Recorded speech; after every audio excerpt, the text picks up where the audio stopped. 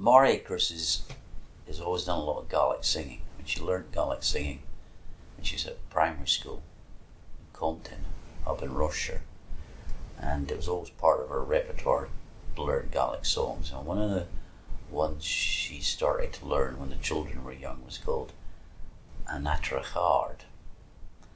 And one day she was singing this song um, in the room underneath where Finlay was sleeping.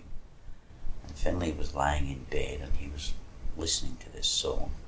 And he said to me, he said, Dad, what, what's the song about? And I said, oh, it's a very, very sad song. It's about a man who's he's brought up in a croft and uh, he goes away and he spends his whole life away from the islands.